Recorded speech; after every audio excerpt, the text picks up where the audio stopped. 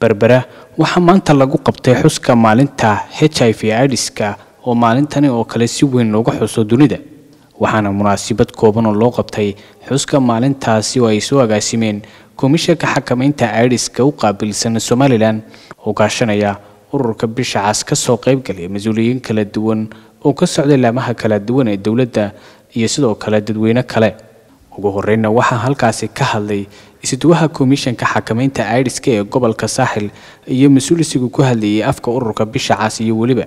Agaasimaha arrimaha bulshada ee dowladda hoose iyo isduwaha shaqogelinta arrimaha bulshada iyo qoyska ee gobolka saaxil. Fariinta ugu weyne halkan maanta ka gudbinaya waxay tahay xanuunkani wuxuu ka mid yahay xanuunada aadamaha ku dhaca. Laakiin wuxuu kaga duwan yahay iminka xanuuno dhabadan loola noolaa baa jira oo uu ka mid yahay xanuunka macaanka xanuunka dhiigkarka laakiin kani wuxuu kaga duwan yahay wuu fidaa. Xanuunadaas waxaa loo tixgeliyaa inay yihiin xanuuno hiridhati ah oo maxay hayday qofku ula noolaan karo. Laakiin kani wuxuu kaga duwan yahay isagoo ah xanuun ku dhacay qofkii haddana wuxuu sababayaa inuu fido uu bulshada u gudbo. Taasina waata keentay inuu wacyigelin qabanno iska wacyigelinno kana dhaadhacsanaana fahansanaano qaabku xanuunka u gudbayo. Xanuunkani wuxuu yahay iyo astaamaha lagu garan karo iyo qofku markuu xanuunkani asiibo inuu dawo qaato oo dawadaasi ay suurto inuu qofkaasi sii noolaado uu maxay hayday xanuunkii uu jirki feeraska isagoo jirkiisa ku jira uu noolaan karo. Taasi waa waxa weeyaan fariinta ugu muhiimsan ee maanta xaggan isaga sheegi doono.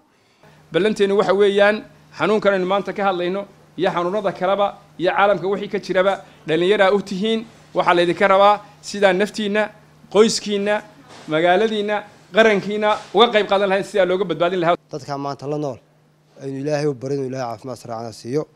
Kuwii u dhintayna ilaahay xajada farduso ha geeyo. Waxa kuwa mustaqbalka de waxa qaar baa qaadi doona.